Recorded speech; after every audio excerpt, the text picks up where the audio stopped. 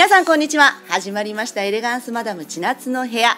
こちらはインターネットシャナナ TV より世界へ宇宙へあなたの目の前のパソコンまで iPhone までお届けしております。24時間常時放送でございます。今日テンション高い。テンション上がるかなと言いながら GO 入ったらねスイッチ入ったという形になりますけれども皆様もう間もなく10月に入りますがこの夏はいかがお過ごしでしたでしょうか？この夏は熱いお芝居を私見てまいりました。そのお話を本編でしてまいりたいと思います。その前に一旦 CM です。CM どうぞ。シャナナンバー。シャナナ TV 内でのプレゼント企画や1日番組パーソナリティになれちゃう抽選券をゲット。シャナナ TV を楽しんでいただくためにこちらご登録いただきたいと思います。はい、シャナナンバはいこちらの方がシャナナ TV 内あなたもワンデーパーソナリティになって非日常を味わってみませんか？ご登録はこちらから。ご登録者全員にシャナナステッカーをプレゼント。シャナナンバー。はい皆様お帰りなさいませ。今日は赤いチームの方違いますねなんかお久しぶりな。今今すごいね打ち合わせしてないのに。なんでわかった？ねお久しぶりに武田さんもお見えでございますけれども。ということで自己紹介差し上げたいと思います。えっ、ー、と武田さんから。あもうご自分で言ってもらった方がいいわね。わかりました。うん、よろしくお願いいたします。はい、えー、流れる雲よ大阪実行委員会実行委員長の武田と申します。よろしくお願いします。イエイ！よろしくお願いしますそう以前のね流れる雲よはあの男性の方と私とね暑苦しい3人でねお伝えしておりましたけれども 今回やっぱりいいね女性が入るとということで自己紹介の方お願いいたしますはい、ありがとうございます。えー、流れる組大阪公演、えー、実行委員会広報部長という一応ポジションをいただいております佐竹香織と言います。よろしくお願いします。よろしくお願いします。いやそうなんですよね前回ね、なんかさっきも打ち合わせでお話ししてましたけども「まあ、流れる雲よ大阪公演」の前に、えーと、初代実行委員長と2代目の実行委員長ということでね、はいお越しいただきまして、はいいろいろお話ししていただきまして、まあ、オンエアも済んだ後に今回も私ね実際拝見させていただきまして。どうやった？あのね、もうこれを一言でどう早いな。もうエンディングみたいな。もうエンディングじゃあ帰ろうかみたいな。えー、それは気になって気いやになってそうですねもうね。いやもう一言で簡単に言っちゃえば、見ないやつはどうなってるのって話ですよ。おうみんなやつはどうなってるんだ。そういやあいけないね。見ないお方はどうなってらっしゃるのっていうぐらい。いやでも本当に見るべきだと思いますね、やっぱり生きてるのであればねやっぱそういう方たちがいてでな内容が分かんないじゃん、ね。ここで武田さんの電話え広報部長どっち？あ武田さんですよね。じゃあどういう内容かで今見たっていうはい。今日の告知が赤い人たちだったから気になって見たよ っていう方もいらっしゃるかもしれませんので。ですね。流れる雲よっていうまあ戦争のはい。特攻隊の話ですよ隊ね、をはい。鹿児島の知覧にあります、はい。特攻基地から、えー、特攻隊が飛び立っていったんですけども、はい。74年前ですね。そうなんだ。はい。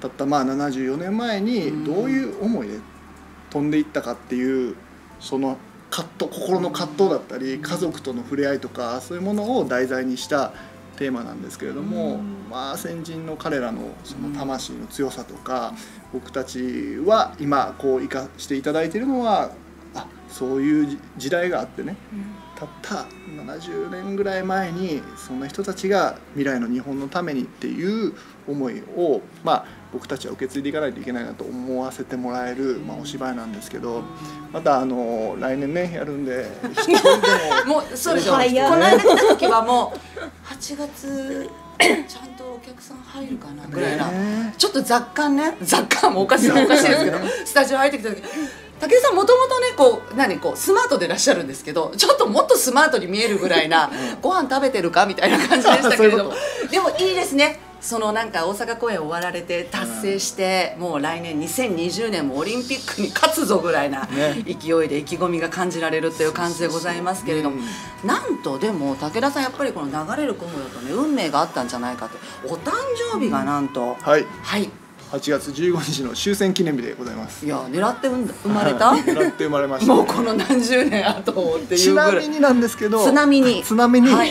あの私の 私のひろしという名前なんですけどそうこれ、あここ大きく出してください。これパッと見てヒロシってよ読む？みんな。読めない読めないよね。こうって読みますね、うん。うちの父は高一なんですけども。うんうん。まあで普通にねこはい。の漢字使って、うんうん建国の理念っていうのがありまして、はい。2679年前にうん建国の父といわれる神武天皇、はいはい。一代目の天皇が、うんうん。まあ、建国日本というのはこういう理念のもとん。頑張っていこうっていううん。理念があってそれが発行一遊っていう言葉なんですね。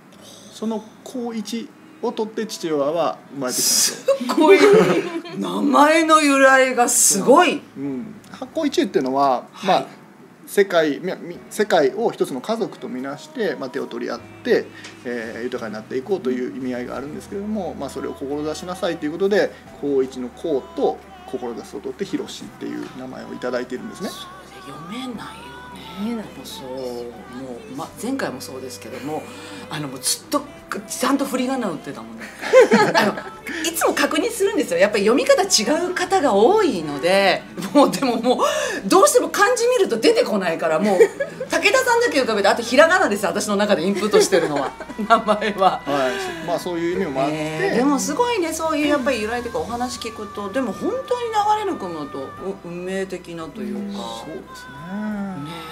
えなんか人生って面白いですね、うん。なんか蓋を開けてみたら、まあ、そこに関連づけるわけじゃない。関連づけなきゃいけないぐらいの勢いで、いやまあでもね、あの今日はぜひ僕の話はもうよくて、ーそうなの、はい。もういいのいいの。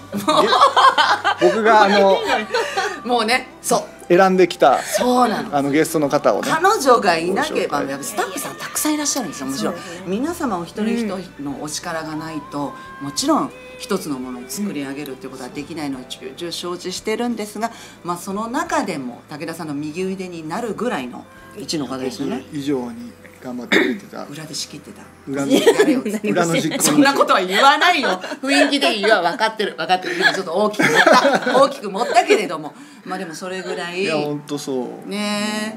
えね。そうそうそう。でも私もいろいろ聞きたいところはあるわけですよ。いろいろもう本当に自分も実行委員の一員かというかもう勝手に燃え上がっちゃって。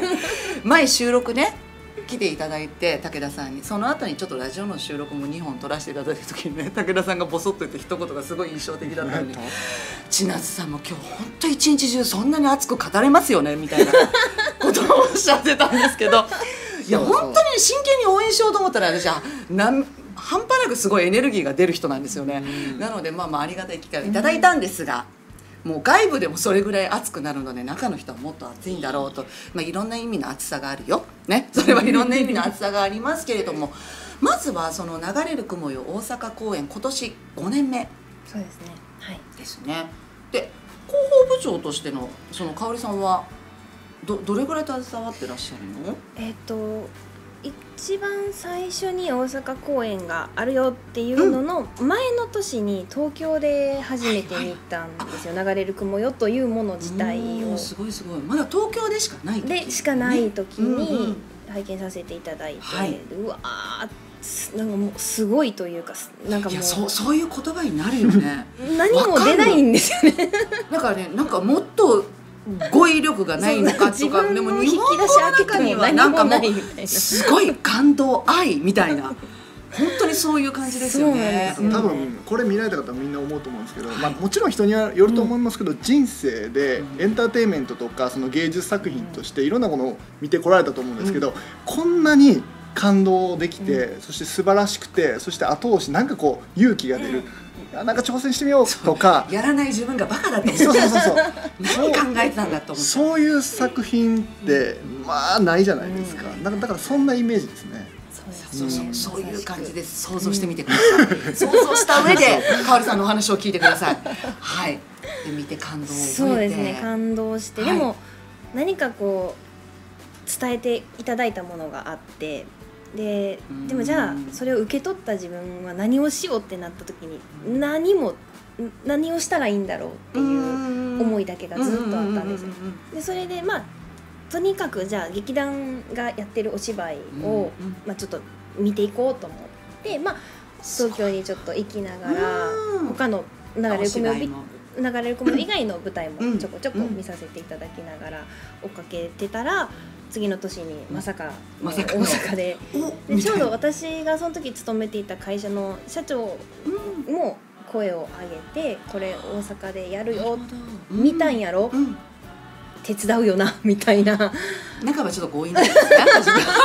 とがあり。いやでもそんななんか会社でまた社長様とのつながりもすごいね。なんかまた全然別口ででしょ？あそうですそうです。なんかこうい社員研修の一環でこう流れる雲を見せるっていうのをやってらっしゃってうん。で母親がそこで初めて見てで若い人に見せたいっていうので一番近くにいたのが娘の私だったので東京まで引っ張っていかれうん。てなんだこれはってなったっていうそのが。う見た方がいいそうですね。もう騙されたと思って。うんもうもうななんだかんだ言うよりみ 見なはれだからね。わかるわ。そうですね。でそこからもう初年度から携わってそうですね。一番最初そのあの道頓堀のザザっていうところでやってらっしゃった時は、あのお客さんとしてむしろえ東京でやってた流れる雲よが大阪で見れんの？っていう衝撃で行ったんですよ。でしかもその時私大学生やったんで学校の授業終わった後に電車に乗って わあ30分で着く場所で流れる雲よが見れるみたいな。うんうんうん。その感動で行かせていただいて、うん。で、まあ、演者さんたちもあのその時には少しちょっとお話しさせていただけるようなくらいにはなってたので、うん大阪で見れてよかったですっていうこともお伝えできて、でやったらその次の年に中央公会堂でやるよってスタッフがいるから。二年目ですね大阪公演2年目。いっぱい人が絵が必要だしっていうので、じゃあ私もさせてくださいって清水いうので。さんがあの中央公会堂を抑えてどうしようと思った時だそうねです。私もびっくりしましたえどどこ押さえたんですか、もう抑えたけどもうもう抑えたけどもう生きた心地されてなかったってお話はされてましたね。もうびっくりしました、何かの間違いかなと思って本当に。初年度との差がね。そうなんですよ。もう今思えばなんか全然ね。そうですね。なんかあ、うん。うんできるかもとか、うん。じゃあたくさんの人に見ていただけるっていうワクワクの方が多分今だったら大きいと思うんですけど、うん。その時は落ち着どうしようみんなが不安だよね。埋まるみたいなもうあのその劇がいいというよりも、もう埋まるかってちょっと視点がずれるよね。ですね。もいいものだから絶対埋まって伝わるんだけどなんか一瞬人間ってね恐怖にさらされるところはありますよね。えーそして2年目そのように携わって、はい。3年目4年目もうそのままずっとで今回広報っていう形のポジショそンに。うですね。あれはなんでなんですか？もうあの広報。今謎解き？今謎解き。これが面白いね。いいんだよ。こういう場だから聞けるところってあるよね。これ私も聞きたい。多分ね実行委員会も知らないんだけど、うん。コアコアコアメンバーっていう。あコアコア。すごいね。じゃあコアコアコアもう本当にコアなメンバーがいるんだね、はい。うんうん。そこに3人グループがあるんあですよ3人グループ。なんか女子みたいな。3人グループがあって。そこの一員だったそうですね広報とか飛び越えてもう裏で一番うんあもうなんかもう、ま、うん頼れる存在だよね。もう僕の3倍ぐらい動いてくれて実現していったんですようん。実行委員長、うん。副実行委員長、でうん。あと事務局長とかがいる中で、うんうんうん。私なぜか。コアコアコアみたいななるほど。このチームならうまくできるかなと思ったのでうんうん。選ばせていまあそれはあるよね、うん。やっぱりちょっとフィーリングとかね。とかね。あそれは絶対あるとで思う。も最初の一言がうん「かおりちゃん巻き込んでごめんね」っていう もう事後報告だよあの意思確認はなしね。LINE グループ作ったやるだろうぐらいのね。一発目が「巻き込んでごめんね」っていう。でも去年まで。巻き込まれてみたね。そう去年までいもうね一緒にやってるから。そうですね。ん。あそそれもあるか、うん。そうそう信そういう前置きもありながら、ね。はいじゃあまあ実際まあ後付けで いいよね。でああもうそんなになったんだみたいな感じの中で、まあでもお芝居がいいということははい。もう誰よりも多分一番早くご存知でいらっしゃるわけじゃない、歴史が長いよね、はい。でもその中でまあ実際携わった、まあ、今回5年目、はい。どうでしたか、まあ、実際のところもう一言で言えば大変とか、まあ、そういう言葉が出てくるかとは思うんです。まあがどういうふうにっていう、まあ、言える範囲でねやっぱりこういう方たちの力があって裏の方があってまたそういうのも知りながら2020年度私たち拝見させていくと、はい。また違うところで、まあ、お芝居は感動するけど、うん。なんか思いがさ自分もなんかちょっと携わってる感覚になるっていうのは結構いいかもしれない。そうですね、うん。あの見て感動例えば今回も1700人を超えるお客様が来てくださって見ていただいて私たち多分実行委員のメンバーって多分その流れる雲を伝えたいとかこういろいろ思いはみんなそれぞれあるんですけど、その見てくださった方の何かきっかけになりたいなっていうふうに思ってる人が多分すごく多いと思うんですね。あの見ていただくことがゴールではなくって、うん。見て感じた後に何かアクション別にその何でもいいんですよ。うん。例えばもう帰り道にゴミ一つ拾うでもいいですし何かこう、まあ、深いところで言ったら、うん。あ日本でこんなことがあったんだ知らなかったなとか、うん。ちょっとなんか違った風に自分の中に入ってたなじゃあ本当ってどうなんだろうって思ってこう、うん。調べるだとか誰かに話を聞くだとか、うん。例えばじゃあ自分のおばあちゃんに話を聞くとか、まあうん、深いところで言ったらそういうところに行っていただけたら一番嬉しいなと思うんですけど、うん。何かこう誰かのためにとか、あの人のために何か動こうとかって思っていただけるきっかけになりたいって思っている人たちがすごく多いので、なんかこうそこに触れることのできる実行委員会に、もうちょっともっともっと人が増えてくれるのもすごく嬉しくって今年はすごく人数も多かったの赤い人がいっぱい赤い人いっぱいいま皆さんしたよね。会場でねスタッフって分かるようにあの赤い T シャツを着てくださってたんですけどうんすごい分かりやすかったね。そうですね、なのでそのか携わる側としてお客さんとして私は東京とかは見させていただくんですけどやっぱり大阪ってなると本当にこう気持ちも違って。見る人がまた人が違うね。そうですねうん本当に実行委員が結構直に声をかけて、うんあなたに見てほしいから来てくれないとかいうので来てくださる方がすごく多いのでなんかこう生まれる空気もちょっと独特だったりするのでうん演者さんもそれはすごく感じてくださっていて大阪に行くと、お客さんのエネルギーに負けそうになるんだけどって結構言われるんですよね。本当？結構こうガッとくるものがやっぱりあるそうそうでしょうねいろんな舞みたいです台踏んでらっしゃねったらそうみたいです。なんねなのでその空気を作って差し上げるのうん。も私たち実行委員の一つの仕事であり、うん。そこの空気を作れれば演者さんたちないしはその作品自体がもう一級品であることは私たちはもう自信を持って言えるので、うんそこを絶対何が何でも超えてきてくださるんですよね。うん。なのでそのベースを作るというか、まあ、うん。実行委員が一つになって、うんまあ、あなたに見てほしいとか、うん。この人に届けたいとかいう思いで動いた実行委員が集めたお客様、うん。ないしは何かこう私たちが発信したもので何か、ね、その方のセンサーに触れて来てくださった方たちがこう集まってくださる空間を作るっていうのうんはすごくこう達成感も私たち自身もありますし、うん実行委員として関わることでなんかこう成長できたりとかする場面はすごくあるので。まあ、そうですよね何かを作っていくって、まあ、皆さんねちゃんとお仕事がありながらの、まあ、有志の方たちになるので、それはまあいろんな気持ちもありながらっていうところ実際に限られた時間の中でですよね。うんうんそうですねそうね学校の行事でやるわけじゃないから 本当にねね本当にやっぱりいいもので伝えたいっていう強いお気持ちがないと本当にできないよね。そうですねねはすごいあのねよくよく分かりながらなあなんか見させていただいて 本当になんかありがたいことにちょっと見かけたら本当わざわざお声かけをしてくださる皆様のお気持ちがまた私は感動で。いやすごいあったかい方たちだなっていうふうにすごい感じながらね 見させていただいたんですけども、はい本当にもう最前列の真ん中で見させていただいてまずそこが贅沢すぎるっていうこととその演者さんの本当にもう本当生の芝居のいいところは息遣いとその目の動きと。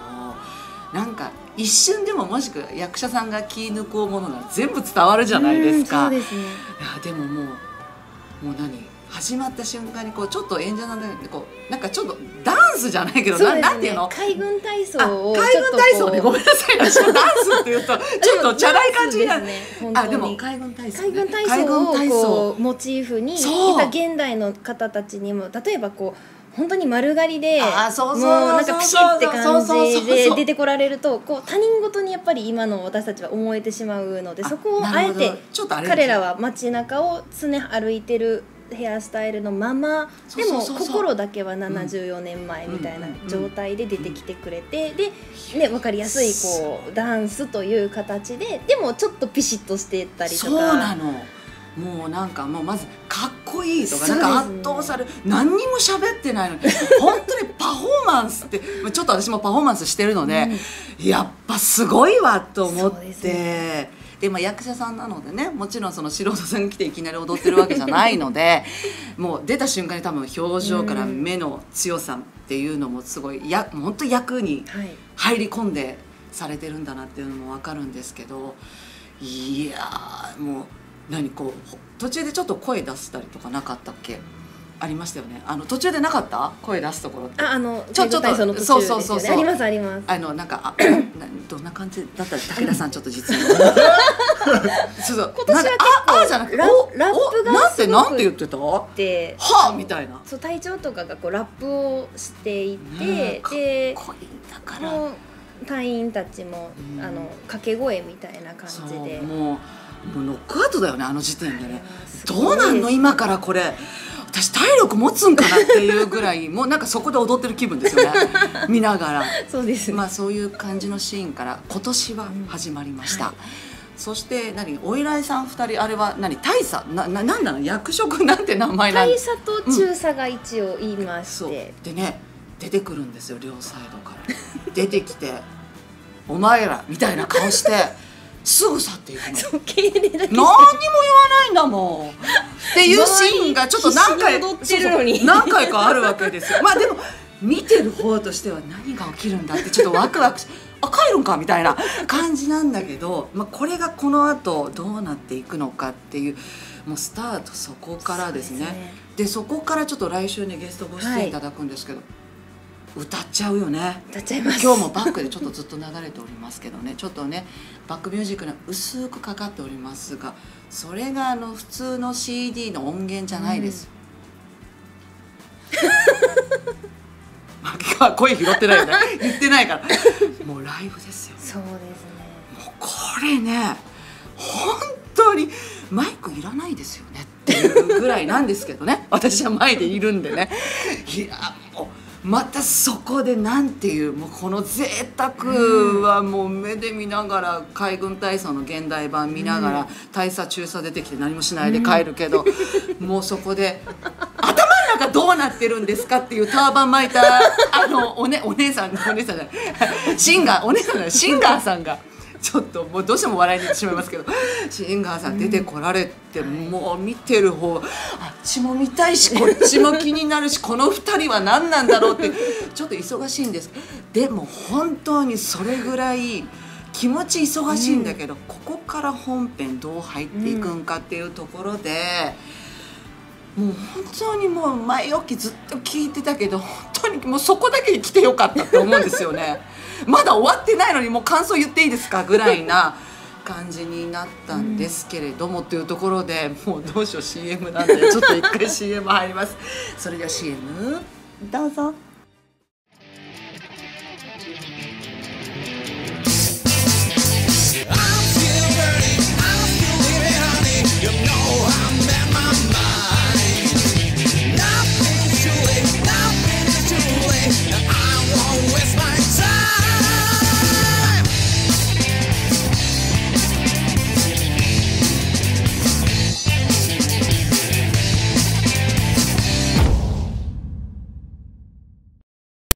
ところでねもうこの話をしてたらあのあれなので来年いつぐらいにやるんですか？8月の末第8月末。4週目かな？4週ぐらいの予定ですね。29 30あたりですね。一応予定です。回って2020年の8月の最終週のはいどこかに、まあ、はい。一応なりますので,、もうぜひ多分もう今回行かれた方はほぼ行かれるんじゃないですかね。そうですね。あの大体見たいよねまたね。何年もこう声を周り、ん自分の周りの方たちとか見ていただきたい方にお声かけさせていただいてると、うん起こってくるのが声をかける前に来年いつ？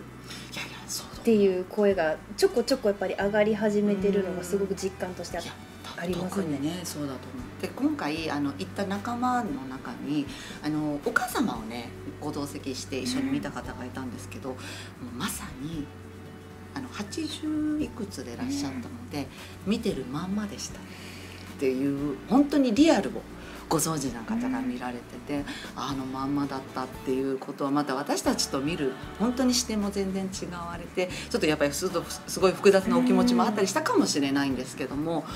あなんかそういうこともまた私も知れてあ本当にこういう感じだったんだなってまたそういうお話を聞くとすごい忠実に再現されているんだなっていうことをまたなんかねあのしっかり思うこともできて感じることもできましたっていうところねもう本当に話したいことのね1%も話せてない武田さんどうすんのこれねまあ見に来ていただけたら嬉しい。ですね。そうです来ね。で一応ね大阪公演見逃した方いらっしゃるかと思いますのでまずはここですね。検索「流れる雲よ」流れる雲よでご検索いただきましたら、まあ、今後の公演のことも海外でもね初公演っていうことをおっしゃってましたのでご覧ください、そして、えー、と来年の「流れる雲よ大阪」に関しましては「流れる雲よ大阪」「流れる雲よ大阪」でご検索いただきましたらまた日程とかが決まり次第ホームページ更新されるかと思いますのでぜひそちらの方ご確認いただきたいと思います。というところでかおりさん。はい。まあまああとちょっと1分2分ぐらいお時間あるんですけど来年も関わるの？そうですね、うん。ちょっと形は変わるかなとはあ思うんなるほどなですけれどもるほどね、まあ、みんな生活スタイル変わっていくとね。ね。うん。とやっぱりその私自身の成長というところでやっぱあのまだボスたちがたくさん人生の大先輩たちがいるので、こういうふうに動いた方がいいよとか来年はこういうことしてみたらとかいうのをすごそうだよく言ってくだね改善さるので、点出てくるもんね、はい、ちょっとそれを元にやっていこうかなと。思います。え広報って何？宣伝する人ね。特に何もしてないいや広報だから今日ね来てらっしゃるね武田さん。間違いないでもさっきね、うん。いい感じに喋っていただいたんで、広報部長としてね、さすがだなと言って聞いてたん。だからやっぱり私は今まで実行委員長さんのお話しか聞いていないので、やっぱりまた中の方のお話聞くってなるとあし本当に視点も違われるし、あの誰よりもあの清水さんね初代の実行委員長よりも早めに、もう本当先に舞台を見てらっしゃって。確かすいません見たのは先かもしれないいやですすごいと思って。そうそうそうそう。確かに。いやーでもなんか一つのものを作り上げてね、うん。行っての。最後のちょっと皆さん混じってるお写真出します、せーのじゃあ今日全然途中で写真出てないけど。いいこれちょっと人数が多いのであれなんですけどそうですす,、ごいねあのアップしてる、めちゃくちゃ達成感と爽やかな皆さん本当にとってもいい表情をされてるので、なんかそれを味わうとまたやっちゃうよね。そうなんです。わかる。一緒。もうめっちゃ大変。でもうやめてやろう今年でって思うんだけどこれ味わっちゃうとね。ほんとそう。ね。えもうそれでしかない。本当に2か月前の武田さんそんなこと言ってなかった。早来。年わかんない。ですもうやめもうや私もうやるかもうやるか分かりませんみたいなね。ことをお話しされてましたけどでも人間ってそれぐらいねやっぱり感動して心が動くとまたチャレンジしたいと思うというところになります。というところで流れる雲よ大阪の今回お二人にお越しいただきました。ありがとうございました